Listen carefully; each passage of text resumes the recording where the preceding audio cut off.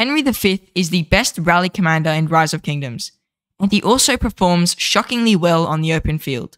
Today, I'll be giving you an in depth guide on Henry. I'll go over talents, skills, equipments, pairings, and if you should even consider investing in him. So, if you were interested in Henry V, stick around till the end of this video to get the most value that you can. Starting off, Henry's active skill is 2300 damage factor to one target.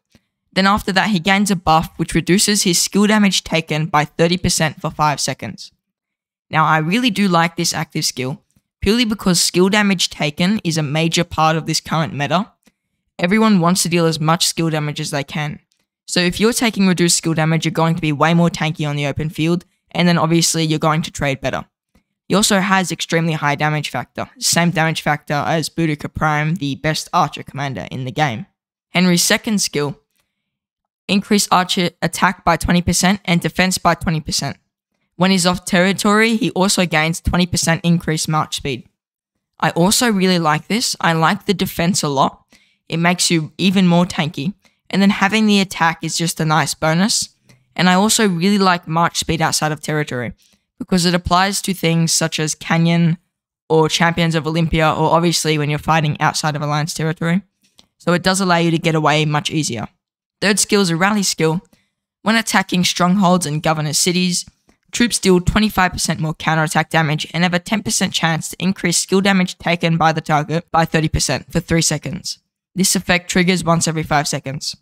So that's really nice. I think that's a powerful debuff to be putting on the opponent, especially if you can you can stack Boudica's debuff on top of it. So I do like that.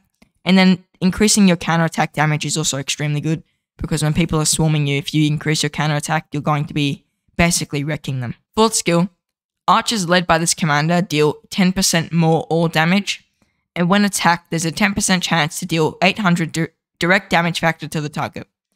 This effect triggers once every 5 seconds. So I like the all damage, it's just pure stats right there. So that's really powerful. And then the chance to deal direct damage factor to the target that's hitting you is even more powerful. It's nice revenge damage. It's not revenge AoE like Cyrus or Amanitore, but it's still very powerful revenge damage. And then his expertise. When a troop's rage reaches 70%, they deal 30% more normal attack. Otherwise, they take 20% less normal attack damage. I actually do really like this expertise as well. The normal attack you gain here is really good, especially when you reach above 70% rage. And then just taking 20% less normal attack damage otherwise is also amazing. So here you're basically gaining about 25% permanent stats on average if you even it out. So out of all of his skills, I think Henry V's most important skills, definitely his primary skill and definitely his second skill. These two skills are really important if you're looking in open field I think that this alone is a very powerful like commander at 5511. Then you've got the third skill. This is rally only. I got unfortunate and I upgraded that skill four times when I would have rathered it land on the last skill, which is also field. And you deal 10% more all damage, which is really nice, and I like the revenge damage.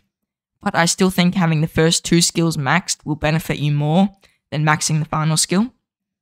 And also, I do like Henry's expertise, so I do think he is arguably worth it for that more normal attack and taking that less normal attack damage. So I do really like that about Henry. Now, talent tree for Henry, I recommend just really going all in on the archer tree. I go here to get some more rage from Razor Sharp, but I didn't end up maxing it because I always want to get Buckler Shield, and I do really think Buckler Shield's like one of the best talents in the whole game, probably on par with Rejuvenate. Then, of course, I went up for Phoenix uh, Whistling Arrow, sorry, because this is just free all damage and who can complain. I did go for 3 out of 3 on Rejuvenate, but you probably should just go 2 out of 3 on Rejuvenate so you don't overrage. But I mean, my Henry's behind, I mean, he's behind a YSG, but he doesn't have a horn. So I do, I don't mind having the third Rejuvenate point there. Or Rally, I think this is really much the same, so I mean, there's not much I would change if you're going for a Rally talent here. I think that really this is probably his only and his best talent tree. Now, what pairs would I recommend for Henry? So first off, his best pair is Henry Esong. I think YSG with Henry is very powerful. YSG's got the AoE, he's got the increased skill damage, he's got the rage that Henry needs. And as such, when Henry's tanking for YSG, First of all, if you're on the open field, they're going to see a little Henry emblem, and Henry's not very desirable to hit because he has that revenge damage and he's very tanky. So having a YSG behind him means you can hide your YSG and get that value from YSG's area of effect damage. So I do really like that pair. Another pair I like is actually Henry and Cyrus. Once again, Cyrus is a bit of a fragile commander, but if you have a Henry in front, you're going to be tanking more. And also, I like Cyrus's revenge damage as well. So if you get hit with a Cyrus and a Henry, the amount of revenge damage you're going to deal is going to be a little bit insane. Also, Cyrus has a lot of single target damage and also has more march speed on top of that. So you'll be able to get away from a lot of battles if you're using Henry with Cyrus and you get caught out in the open field. And then the other pair I really like is Henry with Nebu.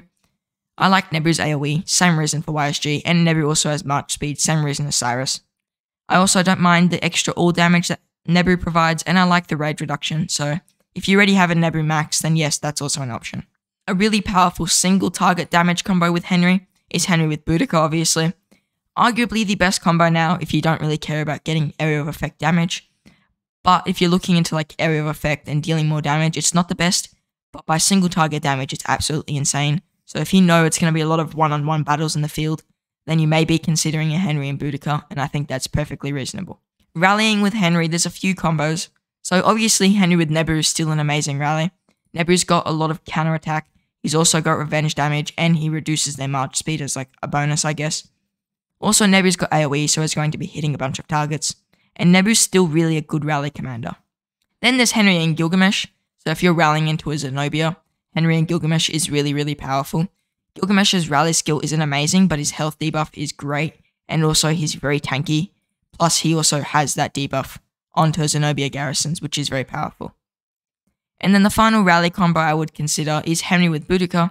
Is just so powerful that she also works as a rally. I personally used this when I rallied like a few cities, and the trades are pretty nice.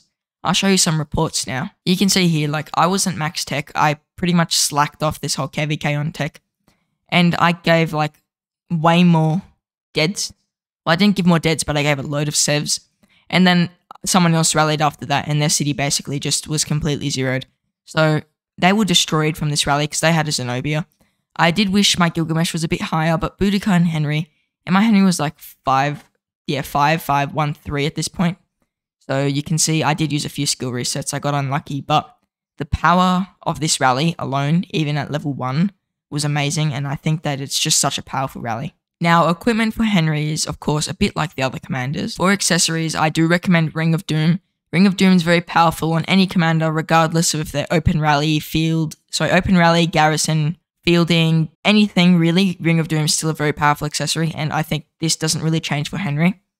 And then I also do like the Horn of Fury, purely because Horn of Fury is giving Henry extra rage. Now, if you're using Henry with Tomyris, which isn't a bad combo, then just don't get Horn of Fury.